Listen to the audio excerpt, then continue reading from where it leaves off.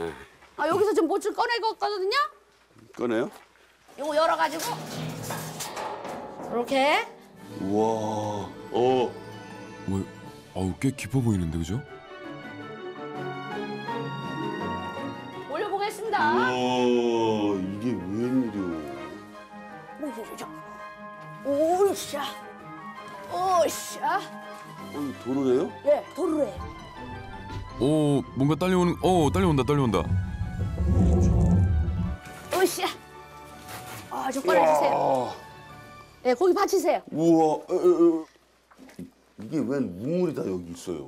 예, 여기는 네. 계곡이 네. 돌산이다 보니 물이 땅으로 흘러요. 음. 그래가지고 여기다 냉장고도 하고 예. 항상 딱 이만큼만 물이 차오르는데 자연인이 식수로 사용하는 물이라고 해요. 돈나물 물김, 돈나물 물김치예요. 요새 먹는 거. 와. 예, 시원합니다. 미나리 돈나물. 요새 한참 먹습니다. 5월 달에. 벌써 강원도 잘 물김치. 익은 저 향이 예. 나와요. 예, 국수 말아 먹어도 맛있고. 오호. 아니 근데 예, 이, 이 이거는 저 예, 옛날 소세지. 예.